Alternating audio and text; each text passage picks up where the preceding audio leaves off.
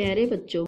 असलकुम तालीमी पेशरफ्त तारीख़ के इस पाँचवें सबक में हम ये समझेंगे कि आज़ादी के बाद जब पहली बार हमारे मुल्क में मरदमशुमारी यानी भारतीय अवाम की गिनती उन्नीस सौ इक्यावन में की गई जिससे ये पता चला कि मुल्क में गरीबी के साथ साथ तालीम की बहुत कमी है। यानी उन्नीस सौ इक्यावन में मुल्क में तालीम की शरह सिर्फ़ सत्रह फ़ीसद थी, जबकि हुकूमत के लिए तालीम को आम करना बहुत बड़ा मसला था, जिसे हल करने के लिए हुकूमत ने मुख्तलिफ़ तदाबीरें इख्तियार की। मरदमशुमारी के साल और तालीम व ख़ानदगी की शरह उन्नीस सौ इक्यावन के बाद उन्नीस में चौंतीस फ़ीसद बढ़ी पूरे 20 साल में 17 फ़ीसद से 17 फ़ीसद बढ़ कर के चौंतीस फ़ीसद हुई। उन्नीस सौ इक्यासी में तैंतालीस फ़ीसद, उन्नीस में बावन फ़ीसद और 2001 में चौंसठ फ़ीसद तालीम की शरह में इजाफ़ा हुआ, जिसके लिए हुकूमत की मुख्तलिफ़ तदबीरें कार फरमा थी। सबसे पहले इब्तदाई तालीम। छः साल से चौदह साल की उम्र के बच्चों की तालीम, इब्तदाई तालीम कहलाती है। 1988 में इब्तदाई तालीम को बढ़ाने, फैलाने और आम करने के लिए तख्ता खरिया, चौक ब्लैक बोर्ड यानी ऑपरेशन ब्लैक बोर्ड शुरू किया गया, जिसके लिए कम से कम दो उस्ताद, जिनमें से एक शख्स उस्ताद और एक खातून यानी औरत उस्ताद शामिल हो। जिसके लिए हुकूमत ने दो कमरे तजुर्बा गाह के सामान कुतुब खाना यानी लाइब्रेरी, मैदान और खेल के सामान वगैरह स्कूलों को हुकूमत की तरफ़ से मदद के तौर पर दी गई, जिससे इब्तदाई तालीम को तरक्की हासिल हुई।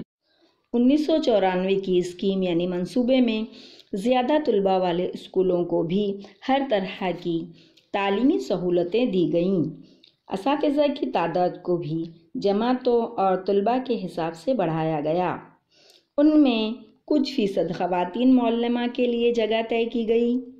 डी पी ई पी यानी डिस्ट्रिक्ट प्राइमरी एजुकेशन प्रोग्राम ज़िलई इब्तदाई तालीमी मंसूबे में भी बहुत सारी सहूलियात दी गई। उन्नीस में M D M midday meal यानी दोपहर की गज़ा का मंसूबा शुरू किया गया, जिसके तहत तलबा को स्कूल में दोपहर का खाना दिया जाने लगा। और प्यारे बच्चों, क्या आप जानते हैं? 1960 में रियासत महाराष्ट्र के क़याम अमल में आया। हुकूमत ने रियासत के लिए पहली जमात से सातवीं जमात के लिए एक जैसा निसाब तय किया। मुंबई के एसटी कॉलेज के प्रिंसिपल जनाब सैयद रऊफ़ को निसाब का मसौदा तैयार करने की ज़िम्मेदारी सौंपी गई थी। बच्चों, ज़रा सोचो, क्या ये मुमकिन है कि कोई भी रियासत मुकम्मल तौर पर ख़वानदा यानी कि मुकम्मल तौर पर तालीम याफ्ता रियासत कहलाए? तो हाँ ये मुमकिन है। ये जो है वो केरला के अवाम ने मुमकिन कर दिखाया। उन्नीस सौ इक्यानवे में केरला मुकम्मल तौर पर ख़वानदा रियासत बन गया। यानी कि वहाँ के अवाम ने मुकम्मल तौर पर तालीम याफ्ता तालीम हासिल की। हमारी महाराष्ट्र रियासत के साथ साथ मुल्क की तमाम रियासतों को भी इसके लिए भरपूर कोशिश और मेहनत करनी चाहिए कि उन रियासतों के अवाम तालीम याफ्ता और ख़वानदा हो सके।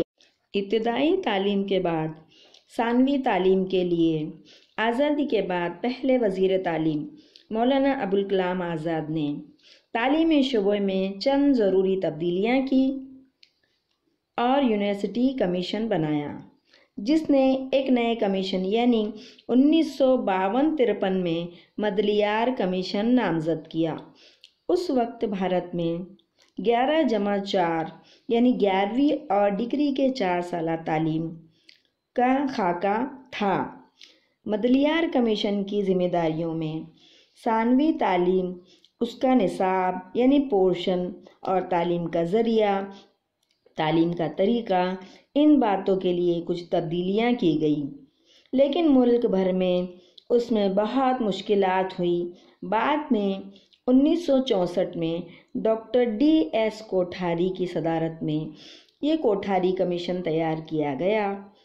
उसके मेम्बरान में जे पी नायक नामी शख्सियत ने बहुत अहम काम अंजाम दिए। इस कमीशन ने सानवी तालीम आला सानवी और जामियाती यानी प्राइमरी, सेकेंडरी और बारहवीं जो हायर सेकेंडरी कहलाती है। जामियाती यानी यूनिवर्सिटी इस तरह से दस जमा दो जमा तीन यानी दसवीं बारहवीं और तीन साल डिग्री कोर्स का खाका पेश किया इसे उन्नीस सौ बहत्तर में लागू किया गया, जिसने तालीम में मादरी ज़बान के साथ, जो आज हम स्कूलों में तालीम हासिल करते हैं, के मुताबिक मादरी ज़बान के साथ हिंदी और रियासती ज़बान, जो कि हमारी महाराष्ट्र की मराठी है, और अंग्रेज़ी इस तर्ज पर ज़बानें शामिल की गई। इसके अलावा मुसलसिल तालीम। तालीम बालगा, यानी बड़ी उम्र वालों के लिए तालीम। मरासलाती तालीम, फासलाती तालीम, आज़ाद यानी ओपन यूनिवर्सिटियाँ जैसी बातों पर अमल किया गया।